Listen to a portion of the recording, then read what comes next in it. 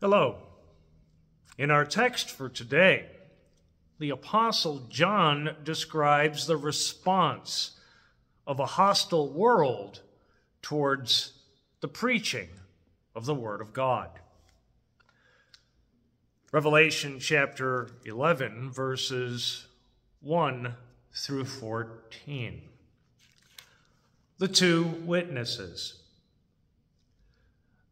Then I was given a measuring rod like a staff, and I was told, Rise and measure the temple of God, and the altar, and those who worship there. But do not measure the court outside the temple.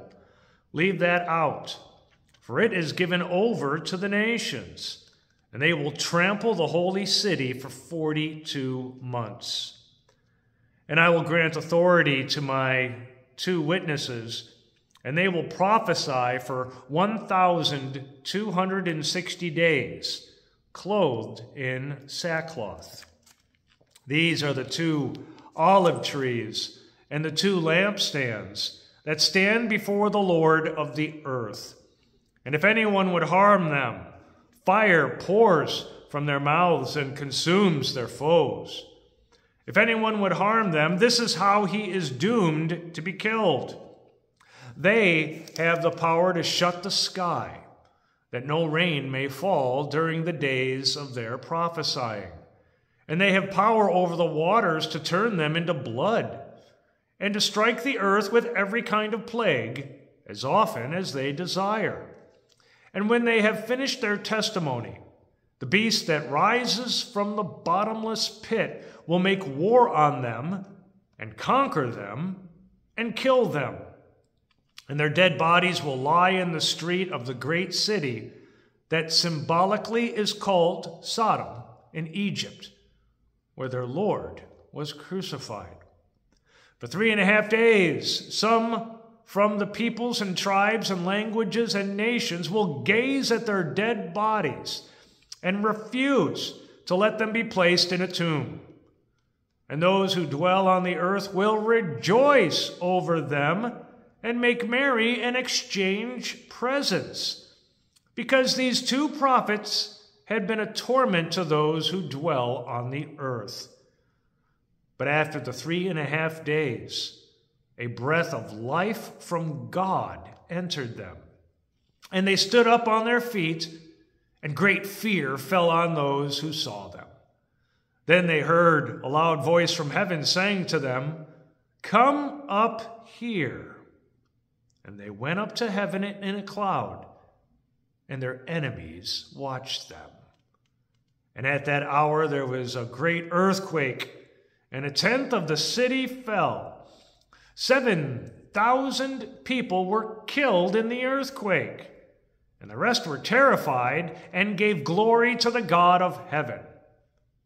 The second woe has passed.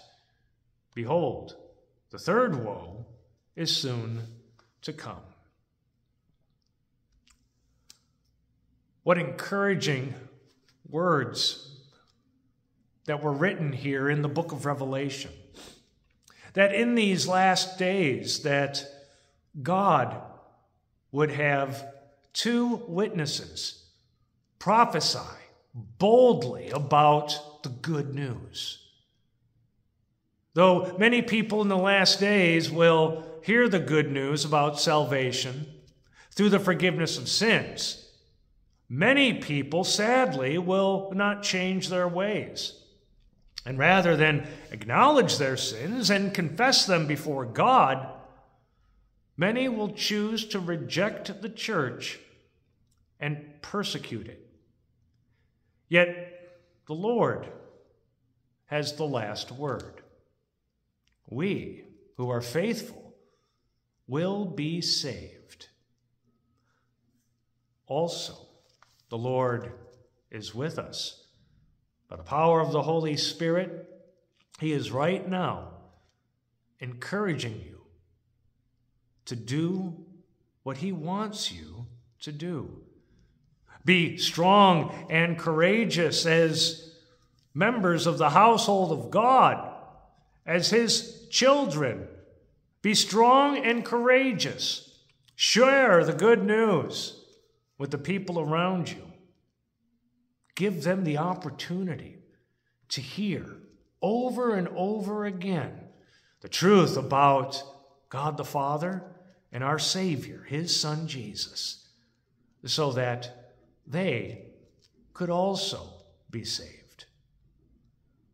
May God, who has given us this task, enable us and encourage the people around us to listen to this good news and respond to it in a loving, God pleasing way.